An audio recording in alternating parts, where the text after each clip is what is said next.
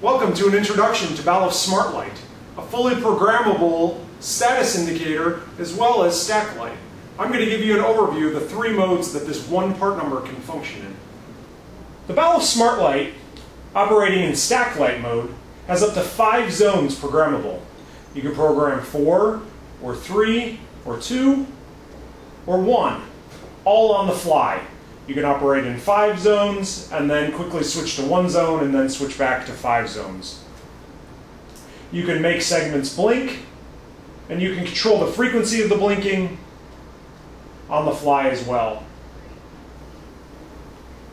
You can also change the color of the zone.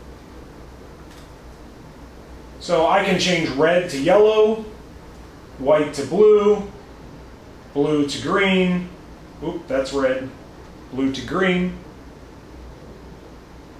all on the fly, and colors can change as you need them to change.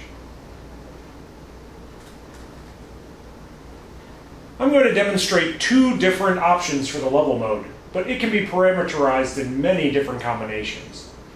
You can use it to show a high-low value, like this, and all it is is tied to a 6 16-bit or an 8-bit integer. You can indicate up for maybe a pressure value or a speed. Currently the lights are set dominant, but you can turn off the color dominance and then you can see the whole bar light. Run light mode is simply a scrolling light of a certain color. You can change it to many different things. You can change the background color, and you can increase the size of the segment that scrolls through the light.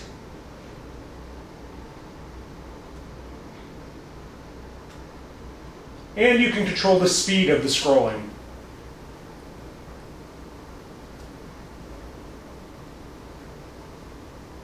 In addition, you can control the brightness of the light. And by controlling the brightness of the light, you can customize your own colors. You can also just dim the light if necessary. The smart light connects via a simple M12 connector and mounts with an M18 thread body. This allows you to direct mount or use accessories to mount to a wall mount or a pole mount. The smart light connects to most industrial network architectures via the open and vendor-neutral standard IO-Link. In this video, we've covered the three modes of the Balluff Smart Light. Stack light mode, level mode, and run light mode. For more information on the Balluff Smart Light, visit www.balluff.com.